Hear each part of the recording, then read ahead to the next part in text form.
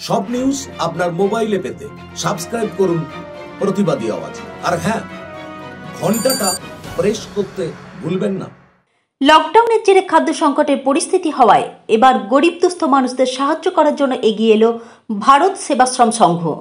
Blue hue nursing home Pallishree Arambagh Hooghly এদিন ভারত সেবাশ্রম সংঘের head office Ballygunge শাখার পক্ষ থেকে এবং তারকেশ্বর শাখার উদ্যোগে এলাকার প্রায় তিনশোটি গরিব দুস্থ পরিবার চিহ্নিত করে তাদের হাতে চাল, ডাল, আলু, তেল, মুড়ি, বিস্কুট সহ অন্যান্য খাদ্য সামগ্রী তুলে দেওয়া হয়।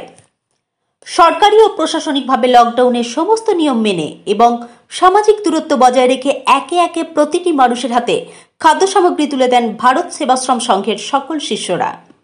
লকডাউনের এই দুঃসময়ে গরিব দুস্থ মানুষদের পাশে দাঁড়াতে পারায় খুশি উদ্যোক্তা সহ সকল এলাকাবাসী প্রথমেই আমি শ্রীমৎ স্বামী পূর্ণানন্দজি মহারাজের প্রণাম জানাচ্ছি। আজকে ভারত সেবা সংঘের পক্ষ থেকে তারকেশ্বর শাখা থেকে তিনশো জন পরিবারকে পাঁচ চার কিলো করে চাল এক কিলো আলু ডাল তেল সাবান দুটো করে বিস্কুট মুড়ি। মুড়ি আর তিনশো টাকা পরিবারকে দেওয়া হচ্ছে।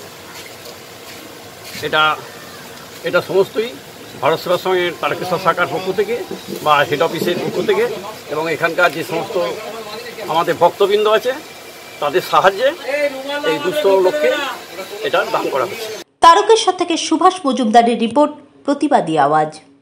সারা বিশ্ব এক গভীর সংকটে। সাথে সাথে আমাদের দেশও। গুজব ছড়াবেন না গুজবে কান দেবেন না।